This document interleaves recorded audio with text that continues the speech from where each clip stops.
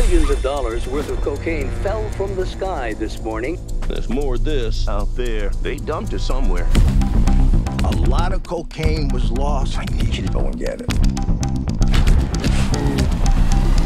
No, no, no, no, don't eat that, don't eat that. Let's see what kind of effect that has on it.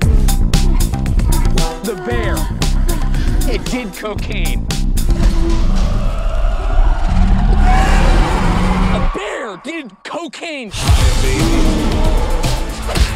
Apex predator. High on cocaine. Out of its mind.